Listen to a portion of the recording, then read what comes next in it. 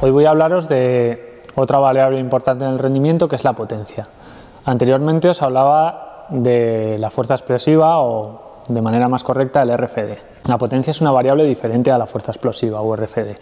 No existe potencia en ausencia de movimiento. Tiene que haber movimiento para que se produzca una potencia dada. La potencia es fuerza por velocidad, es decir, la relación entre una fuerza que hacemos y la velocidad que producimos. Por ejemplo, una tracción rápida es un ejercicio que implica potencia, es un ejercicio propiamente de potencia.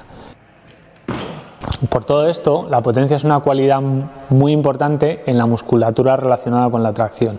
Igual que en la fuerza isométrica no hay potencia y por lo tanto no necesito potencia en la musculatura que genera la fuerza de agarre, en la musculatura de tracción sí que voy a necesitar potencia para poder imprimir con mayor velocidad esas tracciones.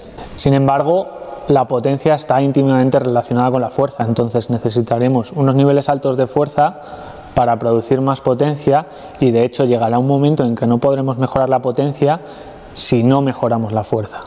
¿Por qué es importante la potencia? Porque nos va a ayudar a llegar más lejos, es decir, si traccionamos más rápido vamos a llegar más lejos, en el caso de que necesitamos llegar lejos porque el siguiente agarre pueda estar lejos, y también va a hacer que controlemos mejor las aceleraciones y deceleraciones del centro de masas. Es decir, si yo en un espacio muy corto de tracción soy capaz de imprimir mucha velocidad, voy a generar una inercia que va a hacer que mi centro de masas se acelere en una dirección determinada. Y al revés también. Si yo tengo un nivel alto de potencia, también voy a ser capaz de frenar aceleraciones que me vienen y desacelerar mi centro de masas.